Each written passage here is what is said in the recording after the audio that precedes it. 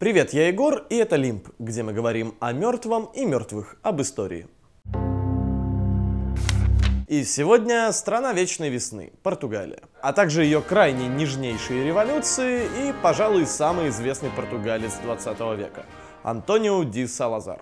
Немного предыстории. Когда-то давным-давно в Португалии свергли и убили своего законного короля.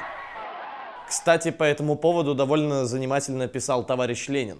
Типа монарха убили как-то совершенно вероломно, и вообще нету в этой Португалии никаких революционеров, а одни сплошные террористы и заговорщики благородный наш дедушка Ленин. И возникла таким образом Первая Португальская республика. И было в этой республике все из рук вон плохо.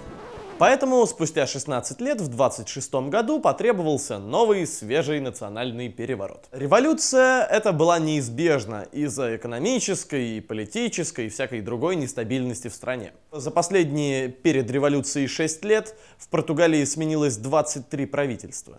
Забавно, что лидер восстания Кунья Леал призвал э, к нему впервые на своей обличительной речи во время званого ужина, видимо, запивая креветки португальским вино Верде. Леал был республиканцем, а правительство было демократическим. И, как известно, плохо работавшим. А на следующий же день войска выдвинулись в сторону Лиссабона. Что неудивительно, никаких ответных мер португальское правительство выдать не смогло а в первые дни оно вообще отрицало сам факт восстания. Что военные на улицах. Впрочем, все это не важно, потому что армия все равно не собиралась вставать на защиту действующего режима. Ну и в ближайшие недели там происходил полный кавардак, потому что произошло еще три восстания и все бескровные. В конце концов, на вершине власти оказался, естественно, генерал по имени Ашкар Кармоне. Антонио Ашкар ди Фрагоза Кармона, Вообще, во время правления Первой Республики Португалии э, этот генерал был маршалом. Во время Первой мировой войны он командовал португальским корпусом, расположенным в Бельгии. И при этом сам находился в Лиссабоне. Видимо, запивая креветки Виноверде. Но в 28 году вояка Кармоне понимает, что он как-то не справляется с обязанностями государя. И приближает к власти профессора Антонио Ди Салазара. И провозглашает его министром финансов. А уже к 1932 году этот самый Антонио Ди Салазар становится премьер-министром и фактически полноценным главой страны. Кстати, сам генерал никуда не делся, он еще черт знает сколько лет оставался в должности президента страны. Ну, просто она ничего не значила. Профессор Салазар был личностью неординарной и в свое время мечтал стать священником. А по современным португальским опросам он до сих пор остается самым популярным человеком в Португалии. А еще ему стоило бы вручить премию за самую интеллигентную и приятную внешность среди диктаторов. Нет, серьезно, если бы я был революционером, я бы не смог его свергнуть. Вырос наш герой в деревне, затем учился в католической семинарии и в конце концов стал профессором юриспруденции. Затем, как уже говорилось, министром при новом правительстве, а в конце концов буквально самим правительством. Очень долго он терпел. В общем, в первую очередь Салазар был прекрасным экономистом.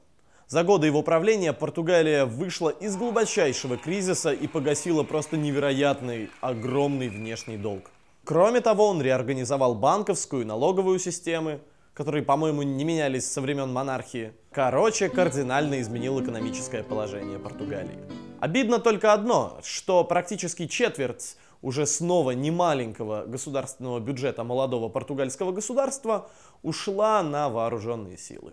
Впрочем, ладно, к 1945 году Салазар проведет и промышленную, и аграрную реформу, проведет электричество по всей стране, ну, в общем, все сделает хорошо. И тем не менее о Салазаре до сих пор говорят как о страшном фашистском кровавом диктаторе. Впрочем, этот страшный фашистский кровавый диктатор был настолько эффективен, а до него в стране творился такой бардак, что реально его поддерживали все возможные слои общества. Почти все. Теперь об идеологии. Почему, собственно, этот режим считался диктатурой? В 1933 году, спустя год после того, как э, Салазар занимает должность премьер-министра, он разрабатывает концепцию нового государства и вводит новую конституцию. Основаны эти два документа были на философии корпоративизма. Основывается эта политическая философия на простом тезисе. Основной ячейкой общества становится социальная группа, а не индивидуум. В случае так называемого нового государства Салазара этой ячейкой становится семья. Забавно, что диктатор сам никогда не был женат. Изначально в качестве элемента своей политики эту философию использовали всяческие фашистские режимы. А, в наше время ее используют в основном христианские демократы. Кстати, несмотря на то, что эта философия постоянно рассматривается как фашистская, агенты тайной полиции Португалии, ПИДЕ, признавала в качестве политических преступников и диссидентов и коммунистов, и фашистов.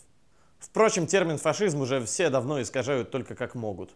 ПИДЕ вообще была удивительной тайной полицией. Например, несмотря на то, что одной из ее основных обязанностей была контрразведка, она спокойно допускала деятельность любых других иностранных разведок на территории своей страны.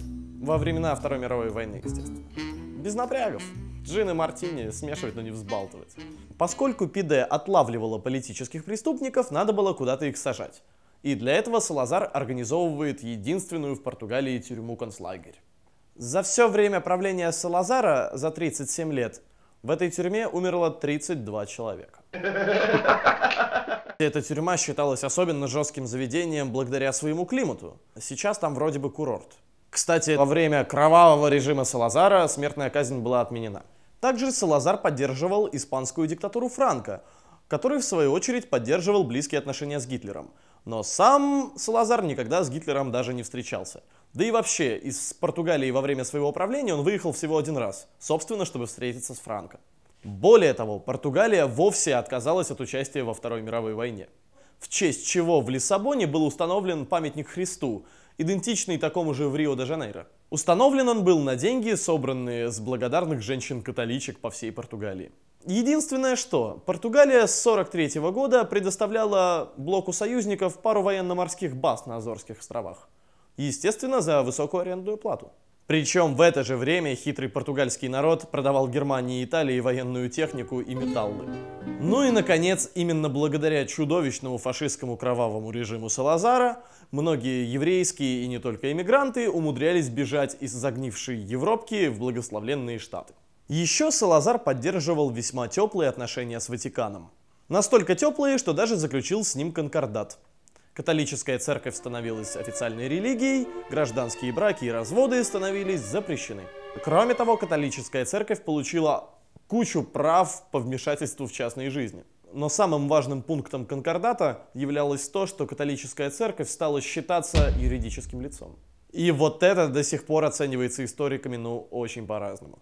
А в 49 году кровавая тоталитарная Португалия даже вступила в НАТО. Собственно, Салазара так и не свергли. В 1968 году, в возрасте 79 лет, он упал со стула, ну и схлопотал себе кровоизлияние в мозг. Власть передали лидеру правящей партии Америка Тамашу, которого как раз таки свергли спустя 4 года в ходе революции Гвоздик. Кстати, до сих пор считающейся самой бескровной революцией в истории Европы.